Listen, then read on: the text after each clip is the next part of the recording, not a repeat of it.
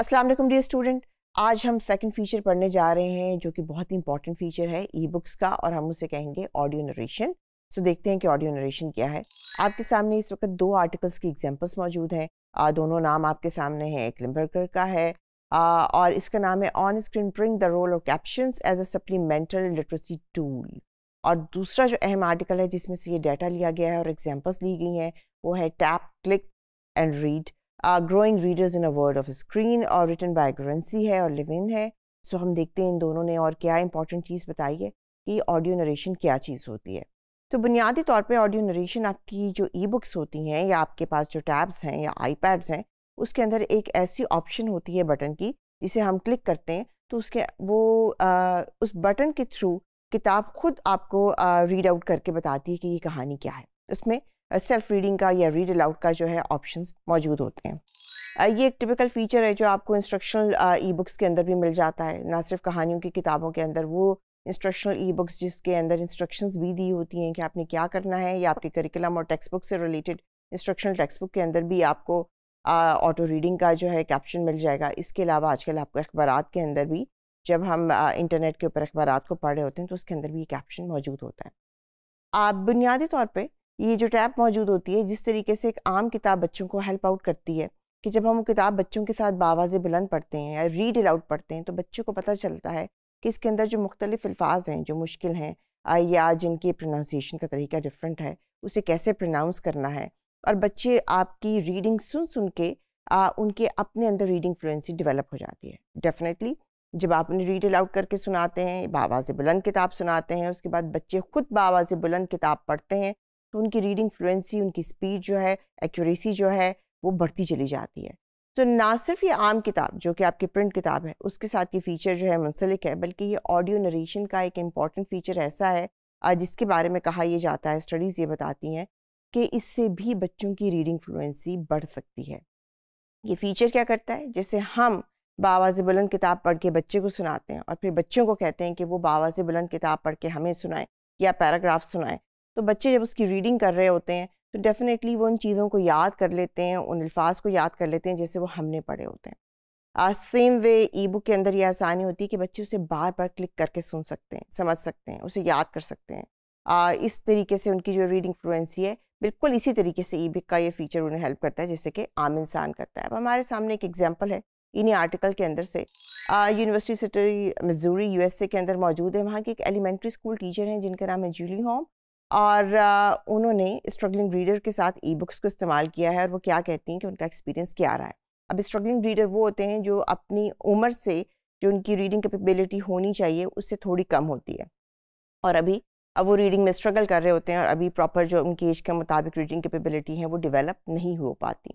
Claim ये है इन teacher का कि जितने ज़्यादा बच्चे सुनता है रीडिंग को और फ्लुएंसी उसकी उतनी ही डेवलप होती चली जाती है। इसका मतलब ये हुआ कि किताबें ना सिर्फ़ पढ़ना ज़रूरी है बल्कि सुनना भी ज़रूरी है और सुनने से रीडिंग जो है वो इन्फ्लुएंस करती है। अब हमारी ई बुक के अंदर जो फीचर मौजूद होता है ऑडियो नरेशन का आ, ये एक ऐसा फीचर मौजूद होता है जिसमें बहुत तरीके के साथ किताब को पढ़ा जा रहा होता है। वर्ड्स पे स्ट्रेस किया जा रहा होता है सही प्रोनाउंसिएशन होती है बेहतरीन एक्सेंट होता है एक अच्छी तरीके से मॉडलिंग की जा रही होती है कि यह है तरीका अच्छे तरीके से पढ़ने का। सो so, जितना बच्चे अच्छी लिसनिंग स्किल्स उनकी डेवलप होती हैं वो तो होती ही हैं पर जितना अच्छा वो रीडिंग सुनते हैं उतनी अच्छी उनकी जो है फ्लुएंसी भी डेवलप होने के चांसेस हो जाते हैं। क्लेम उनका ये है कि मोस्ट ऑफ़ द टाइम जब हम फ्लुएंसी के ऊपर ज़ोर देते हैं तो फ्लुएंसी में कॉम्प्रिहेंशन शामिल नहीं होती। इसकी आप आम मिसाल ले लीजिए जैसे हम कुरान मजीद पढ़ते हैं तो हमारी फ्लुएंसी तो डेवलप हो जाती है जब हम कुरान मजीद को पढ़ते रहते हैं पढ़ते रहते हैं और सुनते रहते हैं। लेकिन हम समझ नहीं पाते कि ये क्या लिखा है। तो कॉम्प्रीहेंशन जो है रीडिंग कॉम्प्रीहेंशन ये फ्लुएंसी से हट के एक अलग फीचर है। जब हम सिर्फ़ फ्लुएंसी के ऊपर फोकस करते हैं तो स्टूडेंट का अमूमन फोकस कॉम्प्रीहेंशन से हट जाता है। और जो कि हमारा मेन मकसद है रीडिंग का, कि ना सिर्फ़ वो आप पढ़ें फ्लुएंसी के साथ एक्यूरेसी के साथ करेक्टली सही प्रोनाउंसिएशन के साथ, बल्कि अब वो ये भी देखें कि इसमें लिखा क्या है, उसको प्रॉपरली अंडरस्टैंड करें। जब हम अपने ऑडियो नरेशन के साथ किताबों को बच्चों के साथ रीड आउट करते हैं। बच्चे जो हैं वो पोज कर सकते हैं वो रोक सकते हैं वो रिपीट कर सकते हैं। आ, वो थोड़ी देर उसको रोक के सुन सकते हैं वो गूगल कर सकते हैं और भी डिफरेंट किस्म के फीचर्स जो हैं वो देख सकते हैं और बार बार रिपीट करके सुन सकते हैं। इस तरीके से उस पेज के ऊपर जो वर्ड्स हैं ना बुनियादी तौर पर बच्चों का उसको समझना उसकी मीनिंग को समझना अंडरस्टैंड करना भी आसान हो जाता है। ऑडियो नरेशन के जहाँ आपके फ़ायदे हैं, वहाँ डेफिनेटली दो तीन ड्रॉबैक्स भी हैं और उसको हम देखते हैं कि वो हमें टीचर्स क्या बताते हैं कि वो क्या है। एलिमेंट्री स्कूल का जहाँ यहाँ ज़िक्र हो रहा है क्योंकि ये अमेरिकन स्कूल्स हैं जिनका डाटा है, अमेरिकन स्टडीज़ हैं, उनका सैंपल अमेरिकन स्कूल्स थे, वहाँ एलिमेंट्री स्कूल किंडर से शुरू होता है और ग्रेड फाइव तक रहता है।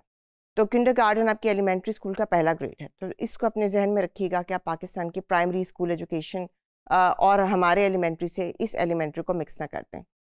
एलिमेंट्री स्कूल टीचर ये बताते हैं कि हमें स्टूडेंट्स के ऊपर आँख रखनी पड़ती है, उन्हें देखना पड़ता है कि बच्चे जो हैं, अब वो सिर्फ़ रीड मी वाली ऑप्शन तो नहीं दबा रहे और सिर्फ़ सुन रहे हैं, ना कि उसको प्रैक्टिस करें कि जब रीड मी हो गया ऑडियो नरेशन जो है आपके सामने आ गई कि इस पैराग्राफ को कैसे पढ़ना है या इस जुमले को कैसे पढ़ना है या इस पोएम के स्टैंडा को कैसे पढ़ना है तो उसके बाद बच्चे ने उसको रोकना है, उसको खुद पढ़ने की कोशिश करनी है।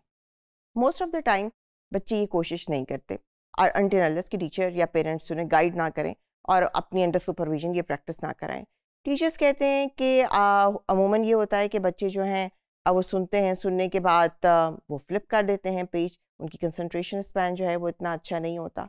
so ये इंपॉर्टेंट चीज़ें हैं जो हमें ये बताती हैं कि जब हम ऑडियो बुक्स या ई बुक्स इस्तेमाल कर रहे होते हैं, उसमें जितने भी ऑप्शन होते हैं जब हम छोटे बच्चों के साथ काम कर रहे होते हैं तो उनमें सेल्फ रेगुलेटरी स्किल्स डेवलप नहीं हुई होती। टीचर्स की और पेरेंटल सुपरविजन बहुत ही इंपॉर्टेंट होती है। ताकि वो बच्चों का फोकस मेंटेन रखे और जो मकसद है रीडिंग का या लिटरेसी डेवलपमेंट का वो अचीव हो सके।